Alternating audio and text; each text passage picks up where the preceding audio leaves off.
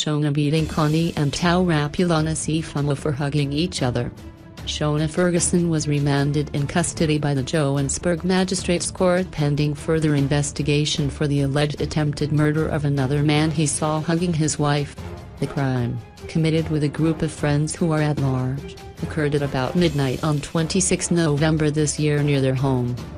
The accused went to their home alone and, on arrival, saw the man Tau Rapulana Seiphemo hugging her wife. He warned him not to hug her again and this angered the man who allegedly hit his wife and the accused, resulting in a fight. The accused ran away and returned with a group of friends with who all allegedly beat and hit the victim using bricks. One of them is said to have threatened the victim with a gun and warned him not to mess with them again. Another was said to have hit the victim on the head with a pick handle, cracking his skull resulting in severe head injuries. He was taken to Joburg Private Hospital for treatment.